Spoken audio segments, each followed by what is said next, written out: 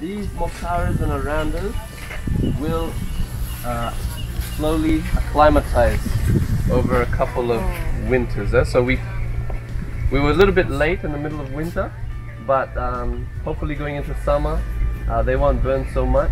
But um, we'll have to see. By next winter, if they're still burning, we're gonna move them again. So yeah, just trying to acclimatize these types of ones. Um, you'll notice some of the dendrobiums too. People put them out on balambalas, and they do do well. You know, that's just them acclimatizing to the full sun. Okay, so basically we're just going to have a mini workshop. Um, so what we usually do with our workshops is we cover orchids, anthuriums, um, bromeliads, guzmanias, gingers and heliconias. But uh, today we're just focusing mainly on orchids.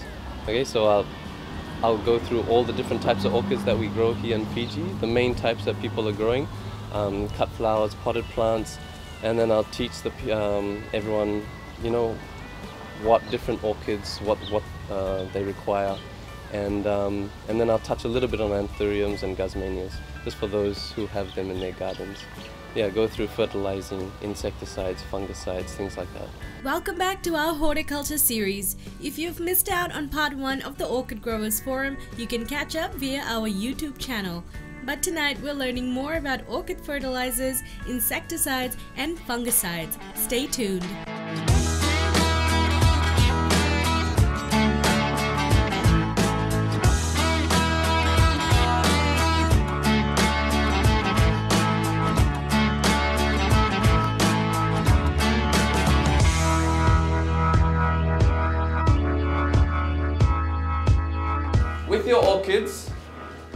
Fertilizing is a very big part.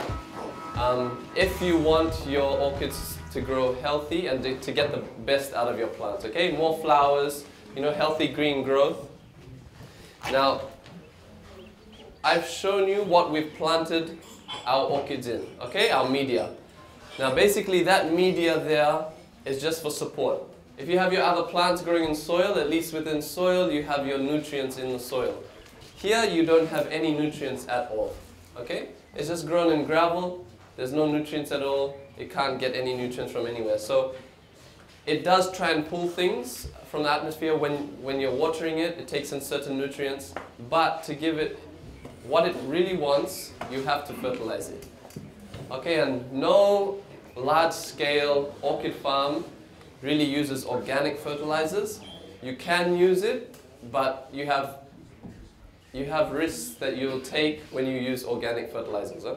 So what I'm going to talk to you about today is some of the fertilizer that we, we use here at uh, South Sea Orchids. All right, now the, there are two main types of fertilizer that you're going to fertilize your plants with. One is a foliar fertilizer, which you dilute in water, and one is a slow release fertilizer, a pellet, which you will put onto your pots of your plant. Okay, so I'm going to cover with two fertilizers. One is a foliar fertilizer, one powder, which you're going to dilute in uh, water to supply to your plants. And another fertilizer is a slow release fertilizer, which we have in pellets that we're going to put onto our pot plant. Alright? So I'll cover the foliar fertilizer first. Now, previously, if you would have uh, bought from us before or if you've been to our previous workshops, we used to have two different foliar fertilizers which you would alternate and it gives you different things. Okay, one was for growing, one was for flower boosting. Okay, we don't bring that in anymore. So now what we have is a, is sort of in between where it supplies both. Okay, it's called Folifert. All right, we get it from AgChem, and we do sell it here. Um, now this Folifert we use twice a week here at the farm. Okay, so we dilute this powder at a ratio of one, uh, one teaspoon to four liters. All right, now this supplies all of its, most of its nutrients and micronutrients. Okay, that's why we give it the foliar fertilizer. And we'll supply it twice a week. And anything to do with fertilizing, it's with orchids, it's all consistency. Okay, so you, you'll you'll try your best to get a consistent supply of fertilizer to your plants. Okay, so we have a strict routine here at South Sea Orchids. We supply our plants fertilizer with a foliar fertilizer uh, every Monday and every Thursday. Every Monday and Thursday are our fertilizing days. Okay, and what we'll do is we'll go out and water our plants first early in the morning, and then we'll supply our foliar fertilizer after that. Alright? And again, you're going to be supplying your plant right from the leaves, stems, and the roots. Okay, you, you apply the fertilizer to the whole plant. Okay, now, we here we have a large area to cover, so we have a large knapsack, and we use that ratio. Okay, one teaspoon to four liters. We use a knapsack. If you don't have that many plants, you know, you can use that same ratio and put it into a spray bottle like this. Okay? Um, it can, if, you, if you're not going to use the whole lot, you can leave that on the side. We've left ours for up to two weeks. It's fine. Okay, so you can leave that for up to two weeks. Even if you have extra, you can use them on other plants as well. A lot of you may have already bought some orchid fertilizer. Okay, there's out there, there are some out there, but then you just have to look at pricing of things. Okay, so we, we use this $18 a kilo. Um, I think this one is maybe $18 for half a kilo. Okay, and it talks about specific things. It's got different nutrients. Then you have your slow release fertilizer. Okay, now these usually come in pellets. Okay, sometimes you have gray pellets. Some you see yellow pellets, and uh, sometimes it's granular like this this red one. Okay, so some of the products we have out there, are, one is Nutricote, that is one slow release fertilizer. One is Nutricote, another one is Osmocote. Nutricote, Osmocote, and this one here is called Slowing. Slowing. Alright, now basically what you want is just the NPK ratio. If it's a slow release fertilizer, you want an NPK ratio of around 14, 14, 14. Okay? 14, 14, 14 is, the, is something that you want to look for for this slow release fertilizer. Okay, now and when you are applying the slow release fertilizer to your plants, to your pot, you're going to apply it around the edge of the pot. Okay? You're not going to put, you're going to apply the slow release fertilizer around the edge of the pot. Okay, you're not going to apply it straight onto the canes because then you have chances of that cane of the plant burning. Alright? So you apply it to the edge of the pot and anyway, when an orchid plant grows, it sends its roots to the edge of the pot anyway, so you are getting the nutrients to the roots around the edge. Alright?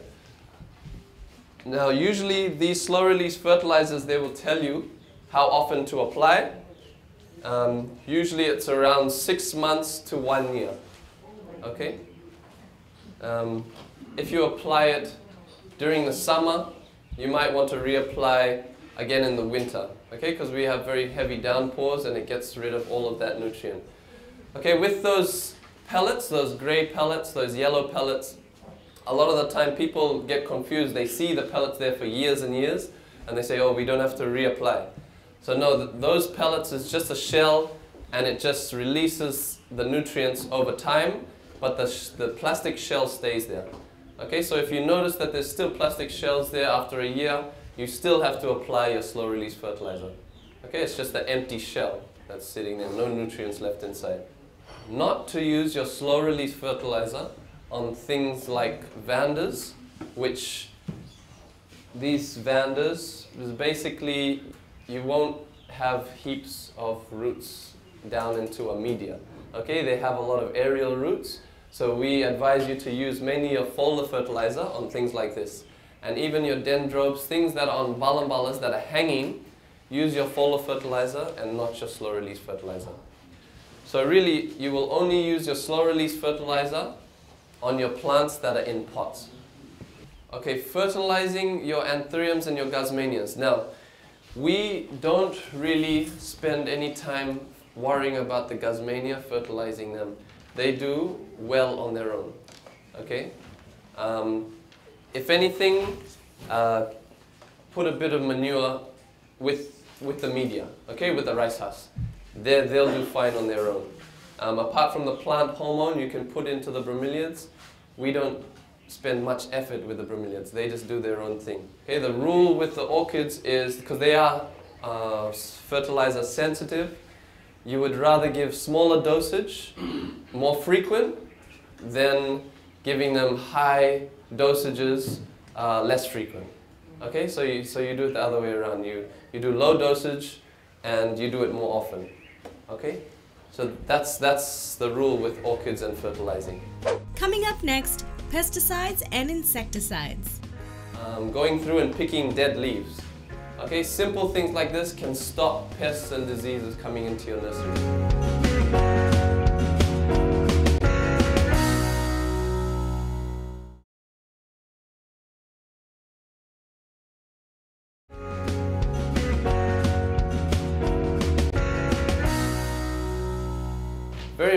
About insecticides and fungicides, we don't really want to use insecticides and fungicides. Okay, it's very costly, it's not good for the environment, and you can stop this if there's a couple of rules you just, and basically you just want to keep your nursery clean. Okay, hygiene is the main thing.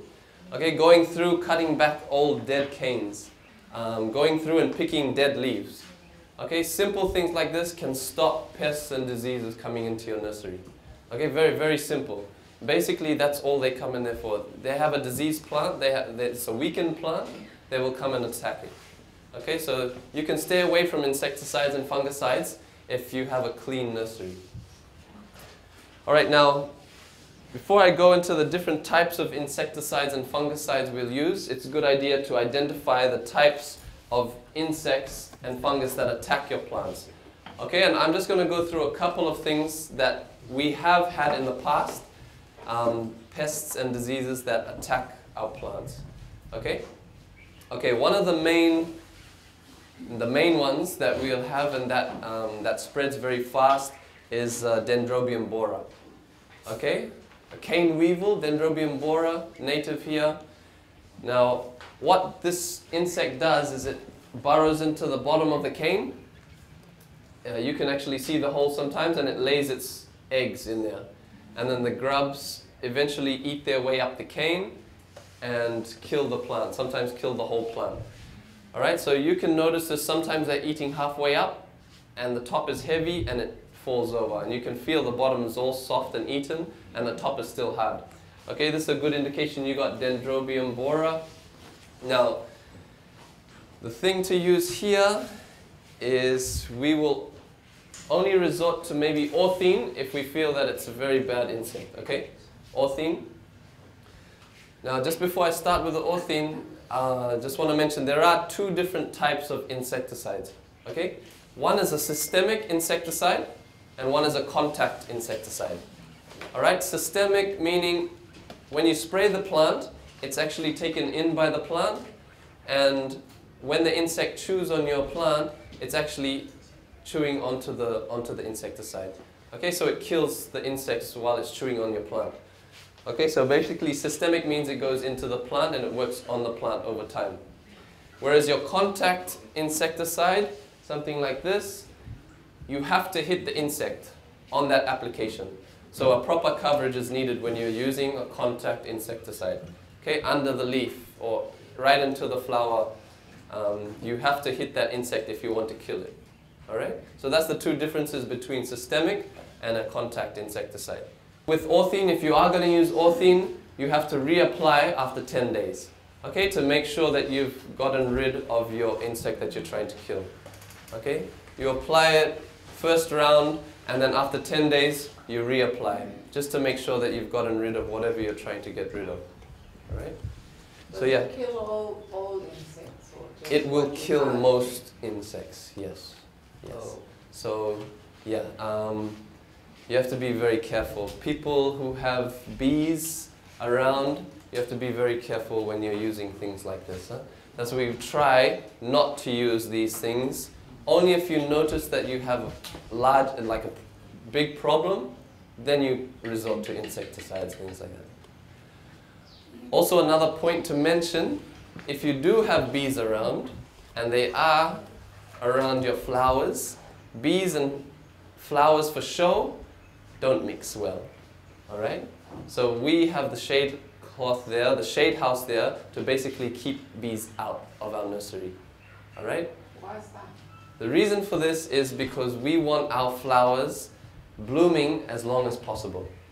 Okay, but what bees do is they pollinate the flower and so the flower wants to close and start making seeds. Okay, so something that should have been there for three weeks, if a bee gets into the flower on the first day, the next few days it closes out. All right, so if you are in the flower business, you can't really be in the bee business. All right, or you keep them separated. Okay, you have a shade shade shade house, and so that the bees cannot get into the flowers. Um, okay, so that was the Dendrobium borer. Uh, another insect that we have is uh, the thrips. Thrips is another damaging insect. Tiny, you can hardly see it, and they fly from plant to plant. Okay, very tiny, they're like pale yellow, light brown, and what they do is they, they will cause the buds to drop off early and deform your flowers. Okay, and if in really bad cases, if there are no flowers, they might chew on your younger leaves. Okay, so thrips is another bad insect. And with thrips, you actually have a lot of uh, products out there that mention on the back that they uh, will hit thrips. Okay, so diazinon is one of them. You'll have see here that it attacks thrips, and also malathion. Okay, so diazinon, malathion are contact insecticides that you could use for thrips. All right. Now, another important tip to know when you are using insecticides or fungus, uh, fungicides, you have to alternate your insecticides and fungicides. Just like anything else, any other pests, any other virus, they build up a resistance to these uh, insecticides and fungicides. Okay, so if you kept using diazinon every week, of course that insect is going to build up a resistance. The next generation will be able to take on the diazinon and it's going to be not effective in the next few months, years. All right, so you have to alternate from one insecticide to another. Okay, so what we do here, if we identify that we have something, we're going to spray it with diazinon on the Monday, and then maybe the next Monday, we're going to spray it with malathion. And then maybe the Monday after that, we're going to use multigard, something different. Okay, so you keep trying to change so that the insect doesn't get used to it. All right? Another insect that you might have is a red spider mite. Okay, usually you'll have silver tinge on the back of the leaf, and if you look closely, you'll have red little uh, little red dots. Okay, these can be quite bad in large numbers. Now these ones here, it's a bit different. They're mites, so you have to look for a miticide. Okay, it's not an insecticide, you have to look for a miticide. Okay, no insecticide will kill a mite. Alright, so if you have the red spider mite, if you do identify a red spider mite, you have to go out and look for a miticide. Sometimes they have insecticide slash miticide, you can use that.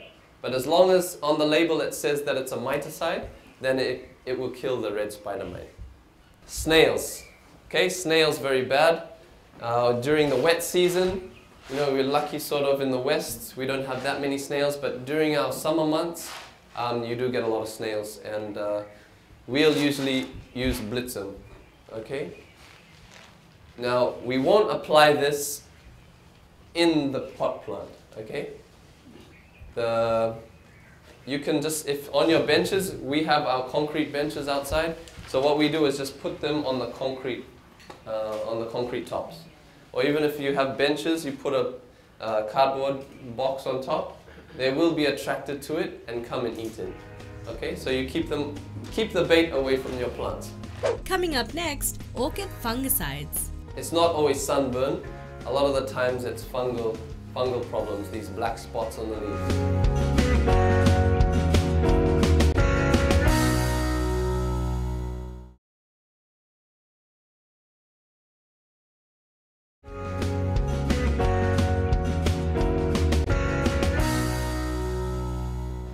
Okay, I can move on to fungicides. Huh? Now, fungus, we're very lucky in the West that we don't have that many fungal problems, okay, because we're so dry. Um, but when we do have our summer months, a lot of the times when it's late at night, uh, we do get some fungal disease. And uh, like I told you before, it's not always sunburn. a lot of the times it's fungal, fungal problems, these black spots on the leaves. Okay, so identifying it early is the best um, and knowing what to spray on it. Okay, so usually here at South Sea Orchids we will use, there's three fungicides that we usually use. Okay, Sundomil is one. Sundomil comes in a silver packet. Uh, usually get it from hardware stores. Another one is Mancozeb. Mancozeb is another fungicide. And uh, your household bleach, okay? Like Janola.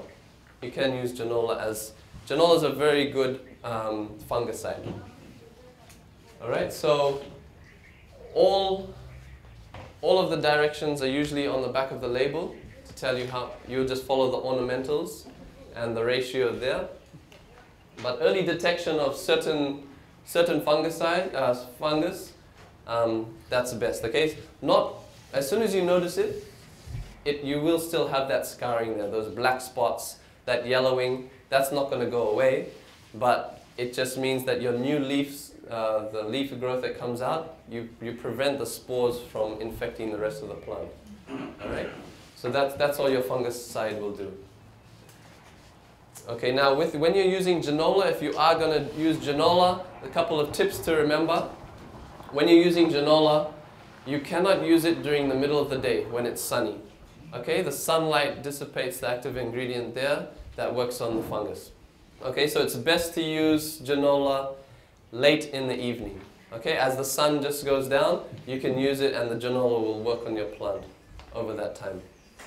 All right. Um, you will also use a ratio of about one, uh, one tablespoon to four liters for the Janola. I told you I'd talk a little bit about the mealybug because that is really the only scale insect that attacks your guzmanias. All right? Not very often they'll come to your orchids, um, but you do notice these a lot of the time on the palm leaves. A lot of you will notice, and then you'll have the black ants as well. See, these almost go hand in hand. The, the mealybug, the white furry bug on the palm leaves, and the black ants. Okay, if you want to get rid of both of those, you try and get rid of the mealybug. Okay, because basically the ants farm the mealybug. They want that sooty mold that they produce. So to get rid of the ants, you get rid of the mealybug. One way you can do that is use white oil. Okay, white oil is, you can get rid of the mealybug. Um, Yates white oil is quite expensive. So the alternative to the white oil is that you can use uh, soapy water. Okay, just that bar of soap that you have, just lather that up and use that water in a sprayer and spray um, your, your plants or spray the insects.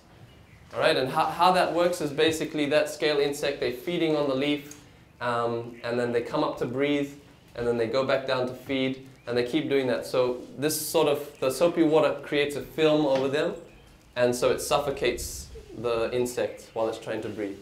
Okay, so you, that's a way to get rid of the mealybug and then you'll eventually get rid of your black ants. Also part of the forum was a tour of the SSO gardens outside. So with a lot of the orchids that you've been looking at, most of them don't have any scent. If you notice, you go up and you, a lot of people go up to the orchids and they smell them, but there's really no scent. Um, so the less that they've been hybridized, the more scent they'll have. So that one there, that one is uh, Dendrobium, yeah, it's called Superbum, and not much has been done to it, so it has quite a nice smell on the flower. A lot of the cattleyas that we have, um, there's a lot of scent to cattleyas. Uh, a lot of them smelling like citrus, or even some got chocolate, uh, chocolate smell. So, yeah. But most orchids don't have a scent. On our next episode, Levi gives us a hands-on training experience during part 3 of the Orchid Growers Forum. Because yes, fingernail has got disease too. Eh? can spread disease from one plant to another.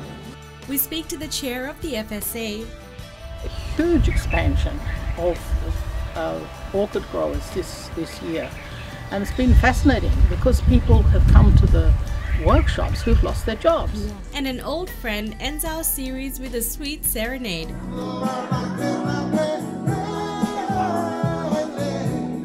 We'll see you then.